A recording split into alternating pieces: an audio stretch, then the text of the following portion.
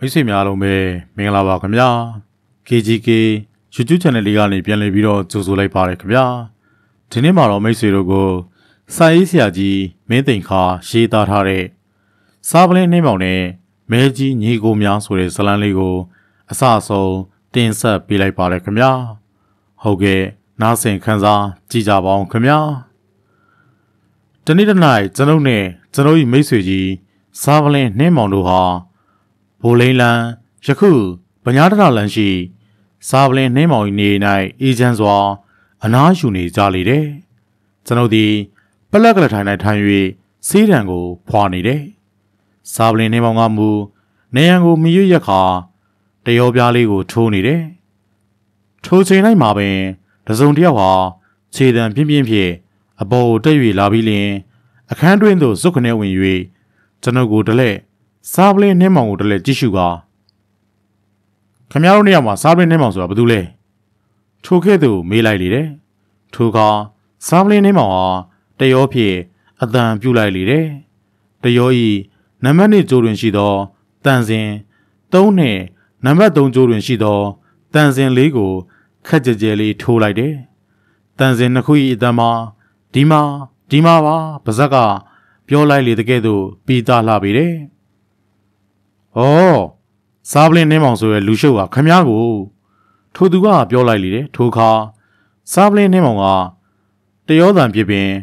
ဟုတ်ကဲ့ဟုတ်ကဲ့ဟုပြုတ်လုပ်လိုက်ပြန်တယ်။ထိုသူဟာစားပလင်းနှင်းမောင်ဤသို့တိုးကပ်၍သွားလေတယ်။စားပလင်းနှင်းမောင်ဟာတရောကိုတိုင်လိုက်ဆိတ်လိုက်ပြီးလင်ကုတ်အင်းကြီးတွင်းမှာရေခဲတောင်တစ်စိမ့်စီကရက်ကိုထုတ်ခါစီကရက်တလိတ်ကိုနှိုက်ယူမြင်းညီပြီးနောက် ဟိုမှာထိုင်ပြီးပြောစရာရှိတယ်ပြောစမ်းပါဗျာကျုပ်ကနားလေးရသူမဟုတ်ဘူးဒီလောက်ကပ်ပြီးပြောစရာမလိုဘူးဟုပြောလိုက်တယ်ထို့နောက်စားပလင်းနဲ့မှဟာကလထိုင်တွင်ဝင်၍ထိုင်လိုက်လေတယ်ထို့သူဟာမထိုင်သေးပဲသူ၏မျက်နှာမဲမဲကြီးကိုစားပလင်းနှင်းမောင်၏မျက်နှာနေသို့ကပ်သွားကတောများကိုဖြဲ၍အန်ကျိတ်ပြလိုက်တယ်ထို့ကြောင့်စားပလင်းနှင်းမောင်ကမိတ်ဆွေခမရလူမားနေပြီစားပလင်းနှင်းမောင်ဆိုတာစုံတော့ဘူးဗျ သွားဆိုင်တဲ့သူမဟုတ်ဘူးရွှေသွားဆိုင်ခြင်းလို့လားရွှေသွားဆိုင်ခြင်းဟောဟိုဟာပြိုင်းရီအိုးစင်ဘက်ကိုသွားအဲဒီမှာသွားဆိုင်စရာတွေရှိတယ်ဟုမခိုးမခန့်လေတံပြေပြောလိုက်တယ်ထိုခါ၌ထိုသားမမဲလူဟာသူ၏မျက်နှာကြီးကိုစားပလင်းနှင်းမောင်နေသို့ကပ်၍မျက်လုံးများကိုပြူးပြပြန်တယ်စားပလင်းနှင်းမောင်ဟာစီကရက်မိကိုများကိုမှုတ်ထုတ်ရင်ဩသွားဆိုင်ချင်တာမဟုတ်ဘူးမျက်စိယောဂပြချင်တာလား တိတ်ပြီးယောဂမရှိသေးပါဘူးမျက်စင်းလေးပါလေးခက်မကြီးကောင်လေးပါလေးသွေးပြီးမျက်စိကိုကွင်းပေးပေါ့ဗျာနေဘူးတဲ့တိတ်ပြီးမထွက်နဲ့ဟုပြောလိုက်ပြန်တယ်ထိုခါထိုသူကကျုပ်ကိုတိလာဟုအတန်မမဖြစ်မိတယ်ဒီမှာမိတ်ဆွေကျုပ်ဘသူ့ကိုမှမသိဘူးဒါပေမဲ့သိကျင်တော့ဘသူ့ကိုမဆိုသိနိုင်တယ်ပြီးတော့ယူကြောင်ကြောင်လူတွေကိုတော့ကျုပ်မသိကျင်ဘူးကဲပါလေခမည်းဟာယူကြောင်ကြောင်လူမဟုတ်ဘူးဆိုရင်ဘယ်သူပဲဝါဖြစ်တယ်ဆိုတာပြောစမ်းပါဟု စားပလင်းနှင်းမောင်ကပြောလိုက်လေတဲ့ကျုံနာမယ်မဲကြီးတဲ့ခမည်းကြားဘူးမှာပေါ့မဲကြီးညီကို၃ယောက်ဆိုတာလေထိုသူကပြောတယ်အော်ကြားဘူးတယ်ကြားဘူးတယ်ရန်ကုန်ကနေ18မိုင်လောက်ဝေးတဲ့ရွာလေးတွေမှာလူစွာလုံနေတဲ့ညီကိုတွေပဲတနစ်လောက်ကဓမြမှုနဲ့မတင်ကားလို့ပလိဘက်ကဖမ်းဆီးပြီးနည်းနည်းပါးပါးရိုက်တာနဲ့ညီကိုတော့သလုံးချုံဝဲချငိုကြတယ်ဆိုပဲအတော့ကိုတရေဘောကြောင်တဲ့ညီကိုတွေပဲ ဆိုပါဦးဘာကိစ္စများလဲဟုစားပလင်းနှင်းမောင်ကမေးလိုက်လေထိုခါမဲကြီးဆိုသူဟာသူ၏မျက်နှာကြီးကိုရှုံမဲ့လျက်ဒီမှာကိုလူအချုပ်ရောက်တဲ့ခါပလိရိုက်လို့ငိုပေမဲ့အပြင်မှာတော့လူတယောက်ကိုလပင်းညစ်ပြီးတက်ဝင်နေဗျအဲဒီတော့တင်ငန်းကျုံကဥလူကလေးကိစ္စမှာဝင်ပြီးမရှုပ်ပါနဲ့ဝင်ပြီးရှုပ်ရင်နာဖို့သာပြင်ပြီတော့ဟုပြောလိုက်လေစားပလင်းနှင်းမောင်ဟာမဲကြီးမျက်နှာကိုဆက်လိုက်မိကိုဖြင့်ဟူကွနဲ့လှမ်းမို့ရင် ဒါနဲ့နေစမ်းပါအောင်မဲကြီးဟာကိုလူလူရွာနာကဘူရာယိုမှာကုံနေရထားကြီးပြက်လို့တညကလေးရက်ထားတာတွဲသုံးတွဲကုံအောင် ဖောက်ယူလိုက်တဲ့အမှုတမှုပလိဘက်ကိုရောက်နေတယ်အဲ့ဒါအစိုးရပစ္စည်းတွေပလိဘက်ကလည်းအဲ့ဒီမှုကိုဖော်ထုတ်ဖို့ကြုတ်ကိုကူညီတောင်းထားတယ်အဲ့ဒီရထားတွေဖောက်မှုမှာကိုရင်တို့ညီကို၃ယောက်ပါနေတယ်မဟုတ်လားအဲ့ဒါကိုဝန်ခံလိုက်ရင်တော့ကိုလူပြောတဲ့သင်္ကန်းကျုံကဥလူကလေးကိစ္စမှာကျုပ်အနေနဲ့ဝင်ပြီးမလျှော့ဘူးဘယ်နဲ့လဲမဲကြီး အခုကျုပ်ပြောတဲ့အမှုကကိုလူလူနဲ့ဓာတ်ရိုက်ပတ်သက်နေရနော်ဥလူကလေးအမှုကဓာတ်ရိုက်ပတ်သက်နေတာမဟုတ်ဘူးစဉ်းစားပြီတော့ဟုစားပလင်းနှင်းမောင်ကပြောလိုက်ရမဲကြီးဟာထိထိပြပြအမူအရာဖြစ်ရထားရဲဖောက်တဲ့အမှုနဲ့သူတို့နဲ့ဘာဆိုင်လို့လဲဗျစကားနောက်တရားပါဗျာမဟုတ်တာတွေမပြောပါနဲ့ဟုဆိုကအခန်းတွင်းမှဆွေကနေထွက်၍လေကားကိုဒရုံဒုံအတန်မြည်စေပြီးအောက်ကိုပြေးဆင်းသွားလေတော့တယ်ထိုအခါစားပလင်းနှင်းမောင်ဟာတဟားဟာရီမောလိုက်တယ်ထိုကြောင့်ကျွန်ုပ်က အိုင်စေဘလို့ဟာလဲဗျဟုမေးလိုက်ရာစားပလင်းနှင်းမောင်က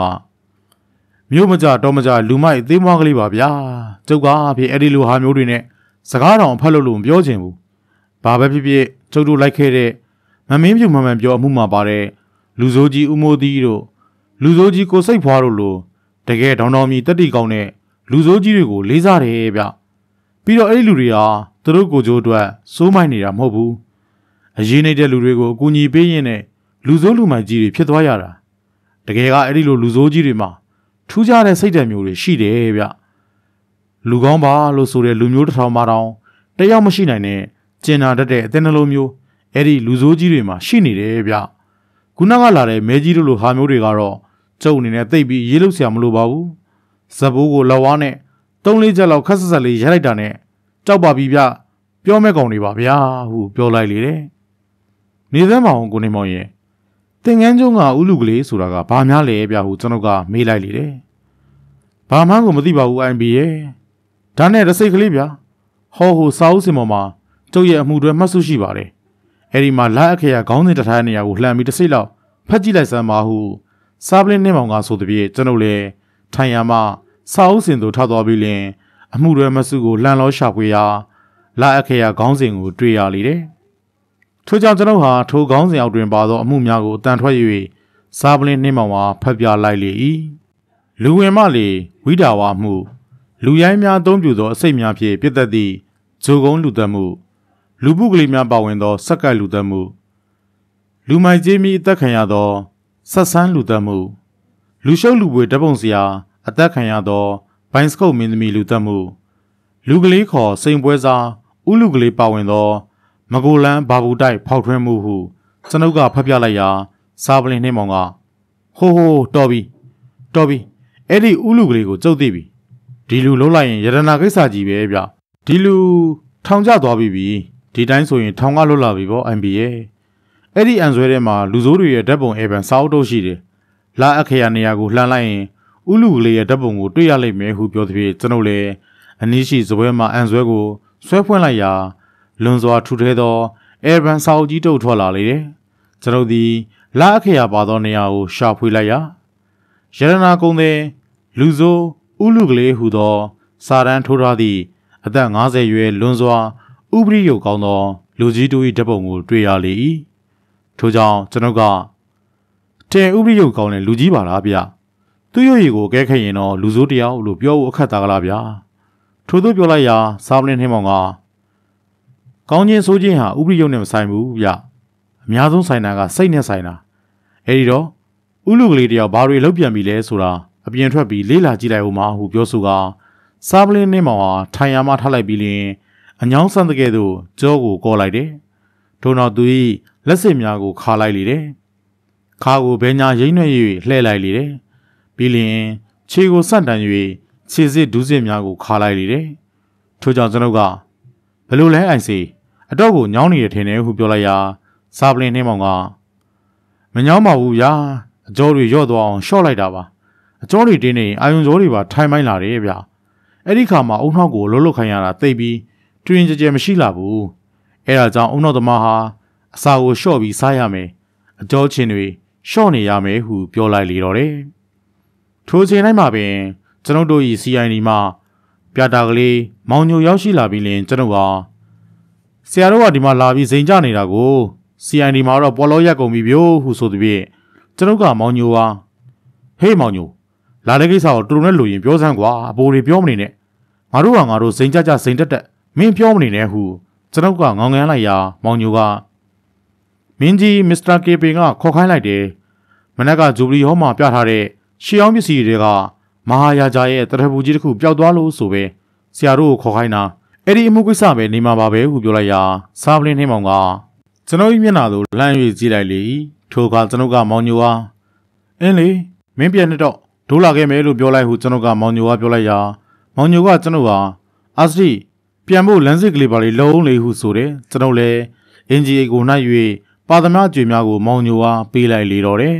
ထိုအခါမောင်ညိုလည်းဆလံပေး၍ထွက်သွားလေတော့တယ်ကျွန်တော်ဒီစာပလင်ထင်းမောင်ကိုလှမ်း၍ကြီးလိုက်ပြီးတော့ဘယ် လိုလဲအိုင်စီခမည်းမိတ်ဆွေကြီးဥလူကလေးရဲ့လက်ချက်ဆိုတော့ရှင်းနေတာပဲဟုလှမ်း၍ပြောလိုက်ရာစာပလင်ထင်းမောင်ကရှင်းနေပြီဆိုရင်အမှုကလိုက်ရခတ်တယ်ဗျခက်ရှုပ်ရှုပ်ကလေးဖြစ်လာမှအမှုကလိုက်ရတာလွယ်တာစုံတော့တယောက်ယောက်ကအမှုလိုက်ရတာနဲ့လက္ခဏာဆရာတယောက်လက္ခဏာဖက်ရတာခက်စင်စင်တူတယ်ဗျာဟုပြောလိုက်လေတယ်ဘယ်ပုံတူတာလဲဗျာဟုကျွန်တော်ကမေးလိုက်ရာစာပလင်နှင်းမောင်ကလက္ခဏာဆရာကလည်းသူဖက်ရမယ်လောဝါမှာလမ်းကြောင်းတွေရှင်းပြီး အာယုလမ်းကြောင်းရဲ့ညာနာလမ်းကြောင်းရဲ့ဟာရရလမ်းကြောင်းရဲ့အဲ့ဒီလမ်းကြောင်း၃ကြောင်းလောက်ပဲပါတဲ့လက်မျိုးဆိုရင်ဟောရတာခက်ပြီပြို့ဘယ်ကစပြီးဟောရမှန်းတော့မသိတော့ဘူးအဲဒီလိုမဟုတ်ဘဲနဲ့အာယုလမ်းကြောင်းပြီးအတက်ကလေးတွေဟိုထွက်ဒီထွက်ဟာရရလမ်းကြောင်းကလမ်းဝဲကလေးတွေဟိုတက်ဒီစင်းညာနာလမ်းကြောင်းကိုဖြတ်ထားတဲ့လမ်းတို့ကလေးတွေဟိုနေရာကပါဒီနေရာကပါနဲ့လက္ခဏာဟာရှုပ်ရှုပ်ရှက်ရှက်ကလေးဖြစ်နေပြီဆိုရင်တော့ဟောချက်တွေဝေဝေးစစားနဲ့ထွက်လာတော့တာပဲ ဟိုလမ်းတို့ကလေးကိုဟောလိုက်ဒီဖြက်လန်းကလေးကိုဟောလိုက်နေပေါ့ဗျာအဲ့ဒီလိုပဲဗျကျုပ်တို့ဆွန်တော်တွေမှာလဲအမှုဟာရှင်းရှင်းကြီးဆိုရင်အလုပ်လုပ်ရတာခက်ပြီပြို့ဥပမာဗျာလူတယောက်ဓာတ်လက်နဲ့လူပြတဲ့လမ်းကြားထဲမှာတေဆုံးနေပြီဆိုပါတော့အဲ့ဒီမှုမျိုးဟာတဲလွန်စွာရှာဖို့ခက်ပြီပြို့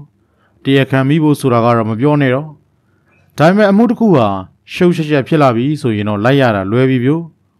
ဥပမာသတင်းစာထဲမှာရိုးရိုးကြော်ညာလိုလိုနဲ့ စကဝက်နဲ့လူစိုးချင်းချင်းချက်ပေးတဲ့ကြော်ညာမျိုးပါတဲ့အမှုမျိုးဒါမှမဟုတ်ရင်အမှုလိုက်မဲ့စုံတော့ကိုဒီမှုမလိုက်ပါနဲ့လိုက်ရင်သေမယ်ဆိုတဲ့ချင်းချောက်စာမျိုးတွေပို့လို့ပို့လို့တဲ့အမှုမျိုးဆိုရင်တော့အဲ့ဒီမှုဟာလွယ်ပြီးသားမှတ်ပြီးတော့ဟုကျွန်တော်ဟာရှင်းပြရင်နေရန်တွင်ချိတ်ထားသောလွယ်ကလေးကိုလှမ်း၍ဖြုတ်လိုက်စမှာပင်အိမ်ရှိ၌မော်တော်ကားတစ်စင်းလာ၍ရပ်ပြီးလျင်ကားပေါ်မှာလူတစ်ယောက်ဆင်းလာကကျွန်တော်တို့ထံလာရောက်၍စားပလင်းနှင်းမောင်အားစာအိပ်ဖြူတိတ်ကိုပေးရင်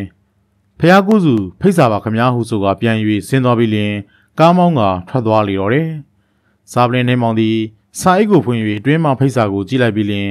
မခိုးမခန့်ပြုံးလိုက်သည်ကိုကျွန်ုပ်ကောင်းစွာသတိပြုလိုက်မိလေတော့၏ထို့နောက်အမှုကတော့ကျုပ်တို့မျှော်လင့်ထားတဲ့ရှုပ်ရှုပ်ကလေးတွေပါလာပြီပြို့ဘာဖြစ်ဖြစ်စိတ်ဝင်စားဖို့ကောင်းပါတယ်လေရော့ဟော်ဒီမှာဖိတ်စာဖတ်ကြည့်လိုက်အောင်ဆိုကစားပလင်းနှင်းမောင်ကကျွန်ုပ်ကဖိတ်စာစာရွက်ကိုလှမ်းပေးလိုက်သဖြင့်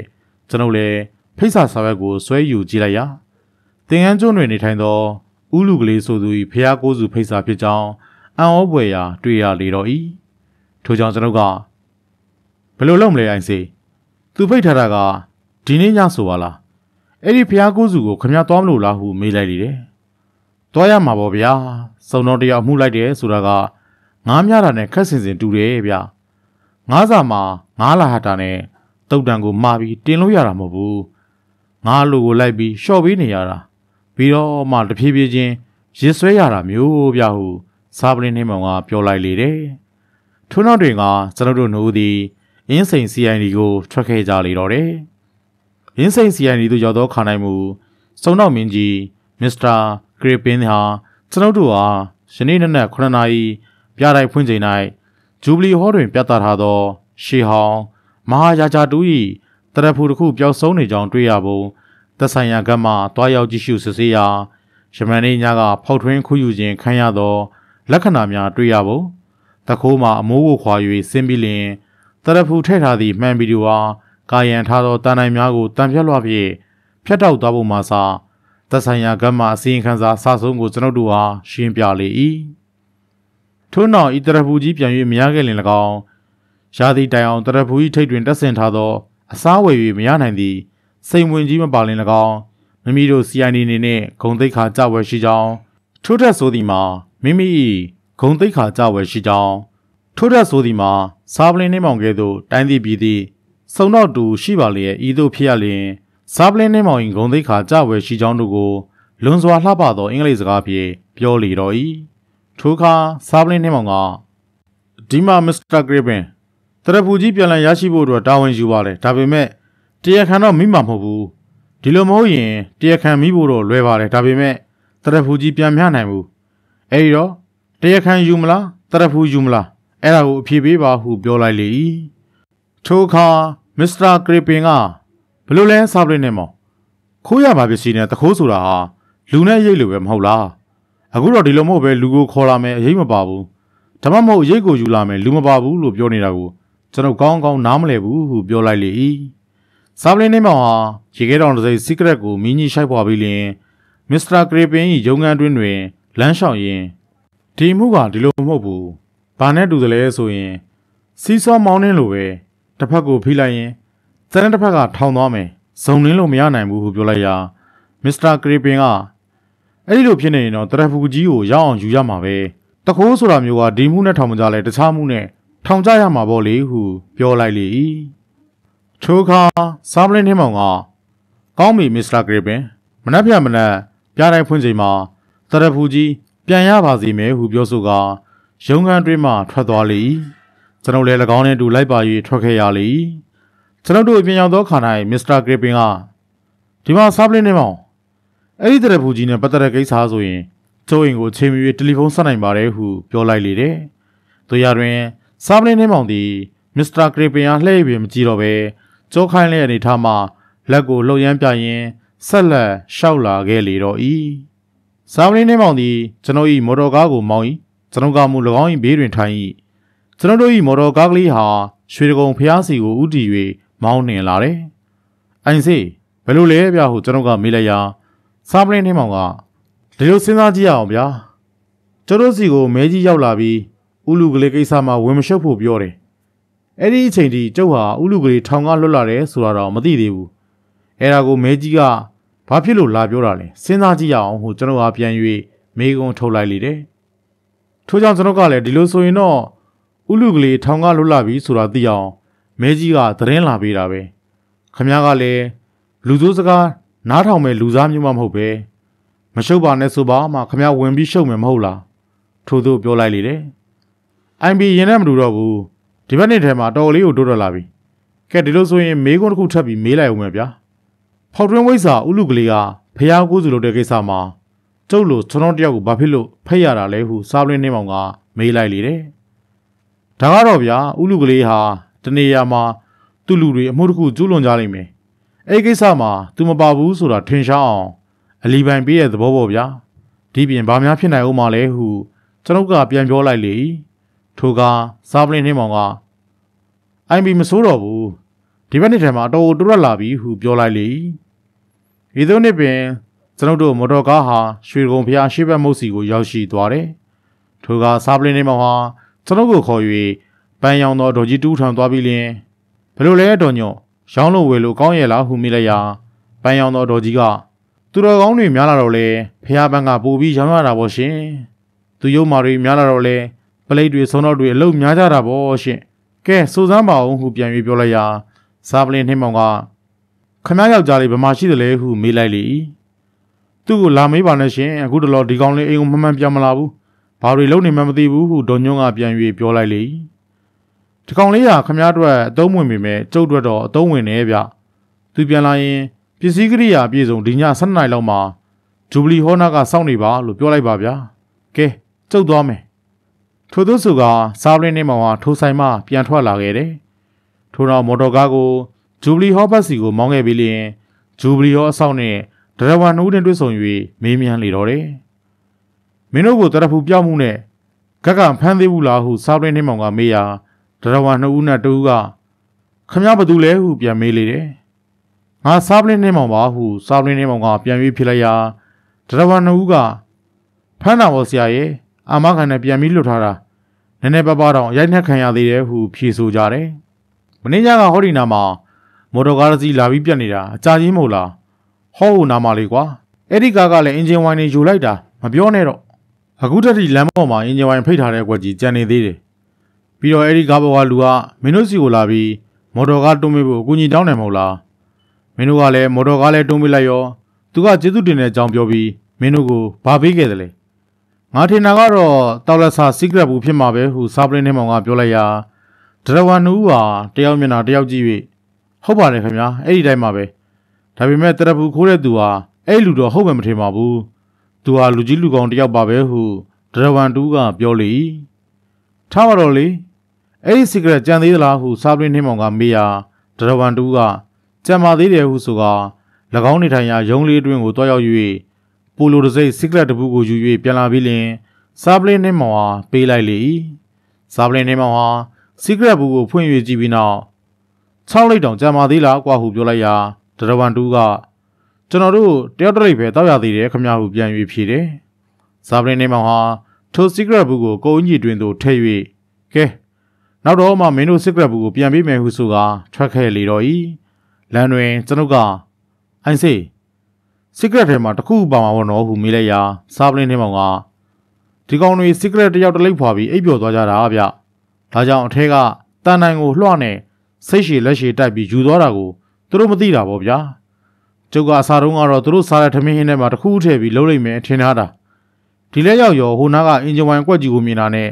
အတွေးတစ်ခုပေါ်လာပြီးရှောက်မေးကြည့်တာနေရာကြကျင်တော့လဲတန်းကနေဟုတ်သွားတော့တာပဲဗျဒီချက်ကြောင့်တော့ကျုပ်ကိုမချီးမွမ်းနဲ့အောင်ဗျ ဒါကဘီလီယက်ထိုးတဲ့အခါမှာရန်တမ်းပြီးဝင်သွားတာကိုကြက်လို့ခေါ်တယ်မဟုတ်လားအခုလေဒီချက်ကတော့ကြက်ဖြစ်သွားတာမျိုးဟုပြောလိုက်လေတယ်ထိုအခါကျွန်ုပ်ကအိုင်စေးရဲ့ပစ္စည်းပြောက်တာလည်းသိနေပြီတရားခံတွေကိုလည်းသိနေပြီအဲဒီတော့မဲကြီးတို့ညီကိုရောဥလူကလေးကိုရောဖမ်းပြီးနည်းနည်းပါးပါးနှိပ်စက်လိုက်ရင်ပြီးနေတဲ့ဥစ္စာဟုပြောလိုက်ရာစားပလင်းနေမောင်ကအဲ့ဒီလိုလှုပ်လိုက်ရင်တရက်ဘူးကြီးကြမှာမဟုတ်တော့ဘူးဟုဒုံးတီပြန်၍ဖြေလိုက်ပြီးလင် secret လိတ်ကိုထုတ်၍ရှိုက်ပွားရင်အချိန်ကစောသေးတယ်ဗျအဲဒီတော့တနေရာမှာချိန်ဖြုံးရအောင်ဗျာဘယ်သွားကြမလဲဟုမေးလိုက်တယ်ကျုပ်ကအမြဲတမ်းချိန်ဖြုံးနေတဲ့လူဗျဒါပေမဲ့ခမ ्या ကအခုလိုချိန်ဖြုံးရအောင်လို့ပြောလိုက်တော့ဘလို့ဖြုံးရမှန်းတော့မသိအောင်ဖြစ်သွားတယ်ဟုကျွန်တော်ကပြန်၍ပြောလိုက်ရာစားပလင်းနှင်းမောင်ကသဘောကျလွန်၍တဟားဟားရီမောလေတယ်ထို့နောက်ဒီလိုလုပ်ကြရအောင်ဗျာဘောက်တော်မှာကျုံနေသိတဲ့ IED ဓာတ်ပေးစိတ်ဝင်ကစေးရကလေးတယောက်ရှိတယ်။သူကပျော်တမ်းမျက်လက်ဆရာကလေးတယောက်ပြနိုင်ငံသားကမျက်လက်ဆရာကြီးဟူဒနီတို့စကန်တို့မှာစာနဲ့ဆက်သွယ်လုပ်ပြီးမျက်လက်တင်လာတာပြသူပြတာတွေကအတော့ကိုစင်တန်းမြင်တယ်ဟုစာပလင်းနှင်းမောင်ကပြောလေ၏ကျုပ်ဖြစ်မျက်လက်ဝါဒနာပါပါဘူးဗျာကိုကိုလေမန်မန်တိလက်သားနဲ့တွားပြီးအလိန်ခံရသလိုဖြစ်နေတာအောက်တသက်နိုင်လာသဗျာဟုကျွန်တော်ကပြောလိုက်လေတယ်ထိုခါစာပလင်းနှင်းမောင်ကလောကကြီးဟာမျက်လက်ပွဲကြီးနဲ့တူပြီးသားပါဗျာ ကံတရားဆိုတာကလည်းအလွန်လှည့်ပတ်ကောင်းတဲ့မျက်လက်ဆရာကြီးနဲ့မတူဘူးလားဟုပြောဆိုတာဘောက်တော်ဘက်စီကိုမော်တော်ကားကိုမောင်းနှင်သွားလေတော့တယ်ဘောက်တော်တို့ရောက်လျင်ပျော်တမ်းမျက်လက်ဆရာကြီးကိုတွဲရောက်ခါမျက်လက်ကြည့်ရှုလေထိုမျက်လက်ဆရာသည်ကျွန်တော်တို့ဟာဖဲတို့တမျိုးတည်းနဲ့ပင်မျက်လက်ဆယ်မျိုးထက်မနည်းပြလေတယ်စီကရက်ကလေးတစ်လိပ်ထဲနဲ့အမျိုးပေါင်းများစွာပြ၏စီကရက်ကလေးကိုဖျောက်ပြတယ်ပြီးလင်လက်ထဲတွင်ရအောင်ပြန်၍ခေါ်ပြတယ် ထိုရမကစမ်းကြအောင်လည်းပြလေတယ်ဤသုံးနေ့ပင်ည9နာရီထိုးသွားလေတော့တယ်ထိုအခါစားပလင်းထဲမှာကဲ IBA ဖះကိုစုသွားကြစို့လားဟုပြောဆိုကာမျက်လက်ဆရာလေးကိုနှုတ်ဆက်၍တင်ငန်းကျွန်းရှိဥလူကလေးနေကိုထွက်ခဲ့လေတော့၏ထို့သောမထွက်မီ၌စားပလင်းနှင်းမောင်နှင့်မျက်လက်ဆရာတို့သည်တနေရာ၌နှစ်ယောက်ချင်းခေါင်းချင်းဆိုင်၍တိုင်ပင်ကြသေးတော့၏ဥလူကလေးအိမ်နီးသို့ရောက်သောခါ၌ဥလူကလေးခြံကြီးထဲတွင် မီးရောင်စုံများထွန်းညှိထားသည်ကိုတွေ့ရ၏ထို့ပြင်စပွဲကလဲထိုင်းများနှင့်အဲကောင်းစားကောင်းများကိုအကြနာကျွေးမွေးအခမ်းနေသည်ကိုလည်းတွေ့ရလေတော့၏စာပရင်နေမောင်သည်မော်တော်ကားကိုရက်လိုက်ပြီးတဲ့နေ့တစ်ပြိုင်နက်ကားပေါ်မှာတွက်လက်စာဆင်းရီခြံအတွင်းကိုခြေလမ်းကျဲကြီးနဲ့ဝင်သွားလေတော့တယ်ကျွန်တော်လည်း၎င်း၏နောက်မှာတွက်လက်စာလိုက်ပါသွားလေတော့တယ်အိမ်နဲ့အနည်းဆုံးစပွဲစီသို့ရောက်သောအခါစပွဲထိတ်တင်ထိုင်နေသောချိတ်လုံကြီးအကောင်းစားကိုဝစ်ဆင်ထားသည့် လူကြီးတူးကထိုင်ရမှထားလိုက်တယ်။ထိုလူကြီးမှာဥလူကလေးပင်ဖြစ်တယ်။ဥလူကလေးဟာစားရင်းနှင်းမောင်ကိုမြင်လင်းမြင်ချင်းအလိုလောကနေသည်မတင်ဘူးတဲ့အဆုံးတော့ကြီးလာနေမှကိုဟုမခိုးမခန့်အမူအရာနဲ့ပြောလိုက်လေတော့သည်ထိုအခါစားရင်းနှင်းမောင်ကမှန်တာပေါ့ဗျာသူတစ်ပိုင်းကိုမဖိတ်ခေါ်ပဲအလဲပတ်သွားတဲ့သူဟာသူယူနဲ့သူတယ်ဆိုတဲ့ဆုံးမစာကိုတော့ဖတ်ဖူးပါရဲ့ ဒါပေမဲ့ကျုပ်တို့လည်းဂျူဘလီဟောကပစ္စည်းကြီးပျောက်သွားလေတော့အထက်ကစူလာကျင်းလာလောက်တာနဲ့ယူကျင်တယ်လို့တော့ဖြစ်နေရဲ့ဗျအဲဒါကြောင့်ခမ ्या ကမဖိတ်ပေမဲ့လေလာရတဲ့ဥလူကလေးရေဟုဆိုကထိုစပွဲ၌ပင်ဝင်၍ထိုင်လိုက်လေ၏ထိုကြောင့်ကျွန်ုပ်လည်းကလထိုင်တစ်လုံးကိုဆွဲ၍ထိုင်လိုက်လေတော့တယ်ထိုကဥလူကလေးဟာမျက်နှာကိုပြင်လိုက်ပြီးလင်အလကားပြောတာပါဗျာကျုပ်ကလည်းတနေ့ကမှထောင်ကလွတ်လာတာဆိုတော့အာဂုသူတွေကုန်ပါစေဆိုပြီး ဖះကိုသူချက်ချင်းစီစဉ်လိုက်ရတာပြုတ်ဒါကြောင့်ဖိတ်တဲ့သူတွေမဖိတ်မိပဲကြံသွားတာတွေအများကြီးပဲဟုပြောဆိုကကျွန်တော်တို့နှစ်ဦးအတွက်အုံတို့ခေါ်ဆွဲလာရွေးဖို့ရန်အမိတ်ပေးလိုက်လေတယ်ထို့နောက်ဦးလူကလေးဟာသူ၏ချိတ်လုံကြီးကိုစားပလင်းနှိမ့်မောင်ဝပြရင်ဟောဒီကျိုးကြီးချိတ်လုံကြီးကမန္တလေးကဝယ်လာတာဗျအဲ့ဒီပစ္စည်းကိုမြင်တာနဲ့ဒီပစ္စည်းကိုရောင်းချတဲ့ကုန်သည်အဆင့်တန်းကိုခံမှန်းနိုင်ပါတယ်ဗျာဟောဒီကျွန်တော်နာမထိုင်နေတဲ့မိတ်ဆွေကြီးဟာ မန္တလေးကပိုးတယ်ကုန်သည်ကြီးဦးကြောက်မီတဲ့အဲ့ဒီပစ္စည်းကိုရောင်းတဲ့ပိုးတယ်ကုန်သည်ကြီးပါပဲဟုဥလူကလေးကပြောဆိုပြီးလင်ဦးကြောက်မီဘက်သို့လှည့်ကဦးကြောက်မီရေဟော်ဒါအင်ဗရန်နာမည်ကြီးတဲ့စားပလင်းနှင်းမောင်ဆိုတာပါပဲဟုတလှည့်မိတ်ဆက်ပေးလိုက်ပြန်တယ်ထိုအခါဦးကြောက်မီကမိတ်ဆွေဖြစ်ချင်တာကြားလာပါပြီဗျာအခုလိုအမှတ်မထင်မိတ်ဆွေဖြစ်ရတာဟာအားမရသေးပါဘူးကျုပ်တို့ကလည်းဒီနေ့ညနေမှမန္တလေးကရောက်လာကြတယ် ဒီကြားထဲဟောဒီကကျုပ်တို့ဖောက်တဲ့ကြီးကဖះကိုးစုလာပြီးဖိတ်လေတော့မလာရင်လည်းမကောင်းဘူးပြိုဒါပေမဲ့ဗျာစားပလင်းနှင်းမောင်နဲ့အခုလိုတွေ့ရတာအားမရသေးဘူးတနေ့ရာမှာအကြနာဧခံခြင်းသေးတယ်ဟုဆိုကစားပလင်းနှင်းမောင်အားလက်ဆွဲနှုတ်ဆက်လေ၏ထိုကစားပလင်းနှင်းမောင်သည်သူ၏ကုတ်အင်းကြီးတွင်မှပိုလိုစီကရက်ဘူးကိုထိုး၍တလိမ့်နှံ့ယူက၎င်း၏နှုတ်ခမ်းပြ၌တေးလိုက်၏ထို့နောက်ဦးကြောင့်မိဘတို့စီကရက်ဘူးကိုလေးစားသောမူရာနှင့်ပေးလိုက်၏ ဦးကြောင့်မိလည်းလေးစားသောမူရာနှင့်ပင်စားပလင်းနှင်းမောင်၏ပိုလိုစီကရက်ဘူးအတွင်မှစီကရက်လိတ်ကိုနှိုက်ယူလိုက်လေ၏ထို့နောက်စားပလင်းနှင်းမောင်ဟာဦးကြောင့်မိနီမှာအခြားလူနှစ်ယောက်ကိုလည်းစီကရက်ဘူးကိုပေးလိုက်ပြန်တယ်ထိုသူနူးကလည်းဦးကြောင့်မိကဲ့သို့ပင်စီကရက်လိတ်စီကိုနှိုက်ယူလိုက်တယ်စားပလင်းနှင်းမောင်ဟာမိချစ်ကိုထောက်ကနေချစ်၍ထိုလူများ၏စီကရက်များကိုမီးတိုးလိုက်လေတော့တယ်ထို့နောက်၎င်း၏စီကရက်ကိုမီးတိုးလိုက်တယ်ဘီလင် ဥလူကလေးဟာစီကရက်ဘူးကိုပေးလိုက်တယ်ဥလူကလေးက၎င်း၏လက်ကြားတွင်ညှက်ထားသောဆေးပြင်းလေးကိုထောင်၍ပြလိုက်လေတယ်ထိုကစားပလင်းနှင်းမောင်ဟာဆလိပ်ဘူးကိုကုန်းကြီးတွင်ကိုပြန်၍ထည့်လိုက်တယ်ထိုချိန်တိုင်းမှာပင်ကျွန်ုပ်နှင့်စားပလင်းနှင်းမောင်တို့အုံနှုတ်ခေါက်ဆွဲများလာ၍ချပေးသဖြင့်စားပလင်းနှင်းမောင်ဟာသူ၏စီကရက်ကိုပြာခွက်တွင်သို့ထိုးချလိုက်ပြီးလင်အုံနှုတ်ခေါက်ဆွဲကိုစားလေတော့တယ်ကျွန်ုပ်တို့အုံနှုတ်ခေါက်ဆွဲစားပြီးသောချိန်၌ ဦးကြောက်မီနှင့်သူ၏ဖော်နှောက်သည်ဇွဲပေါ်၌ခေါင်းများဆိုင်ခါအိပ်ပျော်သွားလေတော့တယ်ထိုကစားပလင်းနှင်းမောင်ကဥလူကလေးဘက်ကိုလှည့်ကဘုန်းတို့ခေါ်ဆွဲချက်တာတဲပြီးကောက်မလားခမရတော့အတော်ကိုကုသိုလ်ရမယ်ဗျာဟုပြောလိုက်ရဥလူကလေးကဒါပေမဲ့ဗျာကုသိုလ်ကတဲပြီးရလာတယ်မဟုတ်ပါဘူးကျုပ်ကြွေးတာတရာဆုံးမမဟုတ်ပဲဘယာဆုံးကိုဗျာဟုပြောလိုက်စင်မှာပင်လက်စစ်မီများအားလုံးဖြတ်ခနဲ့ညင်းရွေသွားရာမှောင်တိကျသွားလေ၏ထို့သော မှောင်သွားသည့်ခါ၌မိကျထုတ်ပါဟာဖျောင်းနိုင်ရှာပါဟာဟုသောအသံပလံများဟိုမသည်မှထွက်ပေါ်လာစဉ်၌ပင်မိများသည်တဖန်ပြန်၍လင်းလာလေတော့၏ထို့သောလင်းလာသည့်ခါ၌စောစောကအိပ်ပျော်သွားသောဦးကြောင့်မီနှင့်အဖော်နှစ်ယောက်မှာထိုနေရာတွင်မရှိတော့ဘဲ၎င်းတို့၏နေရာ၌လွန်စွာသားမဲ့၍ရုပ်ချင်းလွန်စွာတူလာသော လူသုံးယောက်စားဝင်၍ထိုင်နေသည်ကိုတွေ့ရလေတော့၏ထိုကစားပလင်းနှင်းမောင်ကမင်းတို့ညီကိုသုံးယောက်စလုံး ငါနဲ့လိုက်ခဲ့ကြဦးဆိုကခေါ်သွားလေတော့၏ကျွန်တော်လည်းယခုချိန်ထိမြည်တို့ဖြစ်ပြနေသည်ကိုသဘောပေါက်သဖြင့်၎င်းတို့နှင့်တူရောနှော၍ချန်ပီယံကိုထွက်ခဲ့လေတော့တယ်ထို့နောက်ကျွန်တော်တို့အားလုံးကားပေါ်ကိုတက်ခဲ့ကြလေတော့တယ်စားပလင်းနှင်းမောင်ဟာမော်တော်ကားကိုမောင်းရင်ဟေးမေးဒီပစ္စည်းတော့မင်းတို့စီမှာပါလာတယ်မဟုတ်လားဟုမေးလိုက်ရမဲကြီးကပါပါတယ်ဆရာရဲ့ဟုပြန်၍ဖြေလျင်စားပလင်းနှင်းမောင်က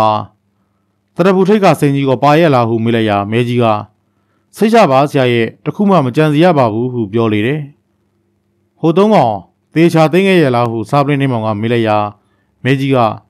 စိတ်ချပါဆရာရဲ့ဥလူကလေးရဲ့မြေတိုက်ထဲမှာထက်ခဲ့ပါတယ်ဟုပြန်၍ပြောလိုက်လေတယ်ထို့နောက်စားပလင်းနှင်းမောင်ကမင်းတို့ကလည်းကြောင်မီတို့လူစုကိုကြောက်လာကြည်လားကွထို့သောမေးလိုက်ရာမဲကြီးကသူတို့ကိုင်းကအင်အားကြီးတယ်ခင်ဗျပြီးတော့တိတ်ပြီးတော့ရက်ဆက်တာကျွန်တော်ဖြစ်ဆရာရင်ကိုလာတာ ဆရာမသဘောပေါက်ရဲ့လားလို့ဘေးမှာလည်းဇိန်းတယောက်ကရှိနေလေတော့အဲ့ဒီချိန်တွင်မှာဘလို့ပြောရမလဲဆိုတာစဉ်းစားလို့ကိုမရဘူးဒါနဲ့ကျွန်တော်လည်းစိတ်ကူးလို့ရသလောက်ကြံပြီးတော့ပြောကြည့်တာပဲဆရာကတိတ်ပြီးအကင်းပါတာကိုနော်ဟုပြောလိုက်လေတယ်မဲကြီးပြောသောလူစင်းတယောက်ဆိုဒီမှာကျွန်ုပ်ကိုဆိုလိုခြင်းဖြစ်ပါတယ်ထိုကစားပလင်းထင်းမောင်က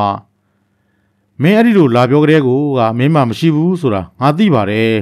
ဒါပေမဲ့ဥလူကလေးမများ အမှုရှိသလားလို့စဉ်းစားမိတယ်ဥလူကလေးထောင်ကလွတ်လာတယ်လေငါမသိသေးဘူးကွမင်းလာပြောမှငါသိတာပြီးတော့မင်းအဲ့ဒီလိုလာပြီးပြောတာကိုကဥလူကလေးကိုစောက်ရှောက်ပေးပါလို့ပြောတာပဲလို့ငါတော့နားလေတယ်အဲ့ဒီမှာငါစဉ်းစားကြည့်တာကတော့ဥလူကလေးနဲ့အတူမင်းရဲ့ညီမဲလက်နဲ့မဲလေးပါပူတွဲပြီးဒုက္ခရောက်နေတယ်လို့စဉ်းစားမိတယ်ကွာဟုပြောလိုက်ရမဲကြီးကဆရာကိုနေမောင်ကသိပြီးကင်းပါတာပဲဗျာဟုပြောလိုက်လေတယ်ထိုအခါစားပလင်းနှင်းမောင်က ငါစီကိုဥလူကလေးရဲ့ဖျားကိုးစုဖိတ်စာလာပြီးပို့တာလေမင်းလက်ချက်ပဲမဟုတ်လားမဲကြီးရဟုမေးလိုက်တယ်ဥလူကလေးစီကိုဆရာသွားပြအောင်ဆိုပြီးဥလူကလေးဖိတ်စာရတဲ့ပုံနဲ့တက်ကိုသွားပြီးဖိတ်စာလက်ကျန်လေးတစ်စောင်ရအောင်တောင်းပြီးကျွန်တော်လူတစ်ယောက်နဲ့ပို့ခိုင်းလိုက်တာဟုမဲကြီးကပြောလိုက်လေတယ်အဲဒီနောက်မှာတော့ဂျူဘလီဟောကတရဖူကြီးမင်းညကဖောက်ခံရတဲ့ရင်လဲကြရောအဲ့ဒီဖောက်ထွင်းမှုသမားဟာ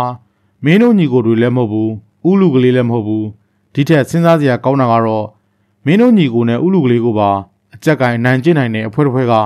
လှုပ်တယ်ဆိုတာငါအနေနဲ့တွေးပြီးသားပဲကွာဘယ်လိုဖြစ်ပျက်ကြတယ်ဆိုတာကတော့မင်းတို့ကပိုပြီးသိမှာပေါ့ကွာဟော်ဒီကငါမိတ်ဆွေကြီးကိုသိအောင်တစ်စိတ်ပြောပြလိုက်ကြပါဟုစားပလင်းနှင်းမောင်ကပြောလိုက်လေထိုခါမဲကြီးကကျွန်တော်ညီမဲလက်နဲ့မဲလေးဟာဥလူကလေးနဲ့တူထောင်ချနေတာခမညာ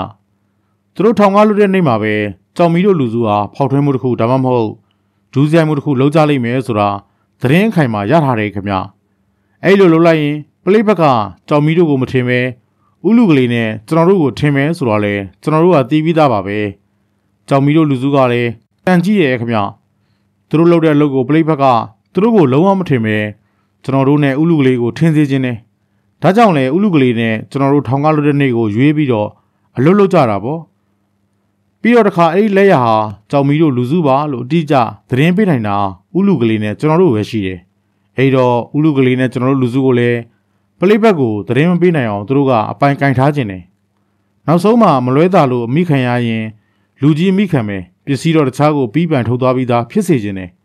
အဲ့ဒီလိုအကြမ်းနာလုပ်နိုင်ဖို့သူတို့မှအင်အားရှိနေတယ်အဲဒါကြောင့်ဥလူကလေးနဲ့ကျွန်တော်တို့ညီကိုနှစ်ယောက်ဟာထောင်ကားလွတ်တာနဲ့အိမ်ကိုတန်းပြင်းပြန်ပဲပုံနှိပ်တိုက်ကိုသွားပြီး နောက်တစ်နေ့မှာဖះကိုးစုလုံးမဲ့ကြောင်းဖိတ်စာချက်ချင်းရက်ခိုင်းပြီးဖိတ်စာတွေဝေပြီးမှအိမ်ကိုသွားကြတာအိမ်လဲရောက်ရောကြောင်မီရဲ့တပည့်နှစ်ယောက်ကတနက်နဲ့ဆင်းသင်းဆောင်နေတယ်ဘဲကိုမှထွက်ခွင့်ပေးတော့ဘူးအိမ်သာသွားတော့မှလိုက်ပြီးစောက်တယ်ကန်းကုန်ရောအဲ့တော့ဥလူကလေးကအဲ့ဒီနှကောင်ကိုမနှက်ဖန်ဖះကိုးသူကြွေးမှာကွာဟောဒီမှာဖိတ်စာတွေဆိုပြီးဖိတ်စာတွေထုတ်ပေးလိုက်တယ်အဲ့တော့မှဒီကောင်နှကောင်လဲမျိုးလုံးပြူးသွားတယ်အဲ့ဒီမှာတကောင်ကအိမ်မှာကြံပြီး တကောင်ကသူတို့ဆရာကြီးကြောင်မီနဲ့သွားတွေ့ပြီးအကျိုးကြောင့်ပြောပြတယ်အဲဒီတော့ကြောင်မီသွေးကကျွေးမိကကျွေးကျင်ကျွေးပါစီရတယ်ဥလူကလေးရဲ့မဲလက်နဲ့မဲလေးရဲ့ကိုသာဒီခြံထဲကအပြင်မထွက်နိုင်အောင်ရေအပြင်ကလူတွေနဲ့တွေ့ပြီးလွတ်လွတ်လပ်စကားပြောနိုင်အောင်ရေသာကြကြမမလှုပ်ထားဖះကူသူကျွေးဖို့ကိစ္စလဲမင်းတို့ကပဲစီစဉ်ပေးလိုက်အောင်ဆိုပြီးငွေတောင်ထုတ်ပေးလိုက်သေးတယ်ခမထို့သူပြောပြလိတယ်ထိုအခါကျွန်တော်ဟာငြိမ်၍နားထောင်ခြင်းပြုနိုင်တော့ပဲနေသမ်းမအောင်မဲကြီးက ဥလူကလေးနဲ့ဒီကောင်နှကောင်ထောင်းလွတ်လာတဲ့ကြောင်မီတို့လူစုကဒီလိုလုပ်မယ်ဆိုပြီးသတင်းကြိုပြီးရထားတာပဲကွာပလိဖက်ကိုတိုင်လိုက်ရင်ပြီးတာပဲဥစားဘာဖြစ်လို့ပလိဖက်ကိုမတိုင်မဲထွေလီကာလူရရှောက်ပြီးလုံနေရတာလဲဟုမေးလိုက်ရမဲလက်ကမဖြစ်သေးဘူးခမဒီလိုဒီလိုရှိပါတယ်ကာကွယ်ပေးပါဆိုလို့ခမတို့ပလိဖက်ကကာကွယ်ပေးမရလားဗျဥပဒေပေါင်းနဲ့မရောက်သေးတာနဲ့ပလိရေးမပိုင်သေးတာနဲ့ပြောတဲ့လူကိုမယုံတာနဲ့ပြီးတော့ကျတို့ကိုယ်တိုင်ကလည်းလူဆိုးဗျ ကျုပ်တို့စကားကိုပလိဘက်ကယုံမတဲ့လားအဲ့ဒီလိုမယုံလို့အင်းတင်လုံးနေတာနဲ့ကျုပ်တို့အသက်ဟာကြောင်မီတို့လက်ထဲမှာပါသွားနိုင်တယ်အဲ့ဒါကြောင့်အလူကလေးကလည်းသူနည်းသူဟန်နဲ့အလူတစ်ခုဖြစ်အောင်လုပ်လိုက်တာပဲအလူဖြစ်သွားရင်လူကဆုံတော့ထပ်ပေါက်ကိုကြံစီလို့ရမှာမဟုတ်လားထားပါတော့လေကျုပ်တို့ထောင်ကားထွက်တဲ့ညမှာပဲသူတို့ကဖောက်ထွင်းမှုတစ်ခုကိုလုပ်ကြတယ်အဲ့ဒီချိန်မှာကျုပ်တို့ညီကိုနှစ်ယောက်နဲ့ဥလူကလေးဟာကြောင်မီရဲ့လူနှစ်ယောက်လက်ထဲမှာသနက်နဲ့အချိန်ခံထားရတယ်နောက်ဆုံးကျုပ်နဲ့ကျုပ်ရဲ့ညီမဲလေးကို မြေတက်ထဲထည့်ပြီးပိတ်ထားလိုက်ပြီးဥလူကလေးတယောက်ကိုလည်းအဲ့ဒီနှစ်ကောင်ကစောင့်နေတယ်ဒီနေ့မနေ့လဲကြာရောအဲ့ဒီနှစ်ကောင်တွေကတကောင်နဲ့သူတို့ခေါ်လာတဲ့မိမကြီးနှစ်ယောက်ရောက်လာပြီးအုံတို့ခေါ်သွက်ချက်ဖို့ဈေးတွေပါတွေဝယ်ကြတယ်ဟင်းတွေပါတွေချက်ကြတယ်ညနေလူတွေလာရင်ကျွေးမွေးဖို့အစင်းသေးပဲဝိုင်းမီလောက်ကင်မှုလည်းသူတို့စီကနောက်ထပ်မိမကြီးနှစ်ယောက်ပို့ပေးလိုက်သေးတယ်အဲ့ဒီမိမကြီးတွေနဲ့စကားပြောခွင့်မပေးဘူးညနေကျမှဥလူကလေးကိုအဝတ်စားလဲခိုင်းပြီးဧည့်သည်တွေကိုအခန့်ခိုင်းတာ အဲ့ဒီလိုအခန့်တဲ့နေရာမှာလဲသူတို့နှစ်ယောက်ထဲကတယောက်မဟုတ်ရင်တယောက်ရှိနေတယ်ဟုပြောလိုက်လေတယ်ထိုအခါစားမင်းနှင်းမောင်ကတရပူခိုးတဲ့တကူကဘသူပဲဖြစ်ဖြစ်ကွာမင်းညာကတော့ခိုးပြီးချင်းရန်ကုန်ပြင်ဘက်ကိုထွက်လို့မရဘူးကွာညဆိုတော့မတင်ကားတာနဲ့ရှာဖွေခံရမှာမဟုတ်လားသူတို့အနေနဲ့လည်းရှာလို့ဖွေလို့တွေ့သွားရင်အဲ့ဒီတရပူကြီးဆုံးရှုံးသွားမှာကိုသိပြီးစိုးရင်ကြတယ်အဲဒါကြောင့်မနေ့ကတော့ညာတွင်ချင်းတရဖူကြီးဟာမြို့ပြင်ကိုမထွက်ဖြစ်သေးဘူး ဒီနေ့မနေ့ထွက်ဖို့ဆိုတာလည်းမဖြစ်နိုင်တော့ဘူးကုန်းလန်းရေလန်းအကုန်လုံးပိုက်စိတ်တိုက်ပြီးရှာနေကြတာပြီးတော့ဒါကြီးကိုရန်ကုန်မြို့ထဲမှာလည်းကြကြမထားနိုင်ဘူးသူတို့ဖွဲ့ဟာလူများတယ်ကွာတယောက်မို့တယောက်ဖောက်လိုက်ရင်ဒါကြီးပလိဘက်ကပြန်ရသွားမှာကိုသူတို့ရဲ့ကြီးကဲကြောင်မီကတွေးမိတယ်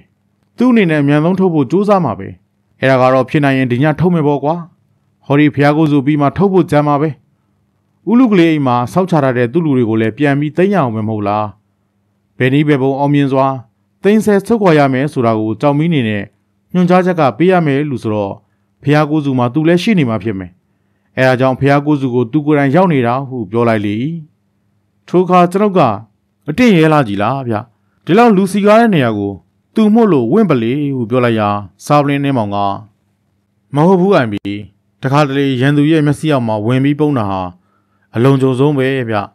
ရန်သူကစိတ်ဆောပြီးအဝေးကိုကြော်ကြည့်လေ မျက်စိရှမ်းလေပေါ့ဗျာဟုပြောလိုက်လေတယ်ထိုအခါကျွန်ုပ်ကဒီလူမာကသူတို့လူသုံးယောက်ပဲလားဗျဥလူကလေးအတွက်စိတ်ချရပါမလားဟုမေးလိုက်ရာစာပလင်းနှင်းမောင်က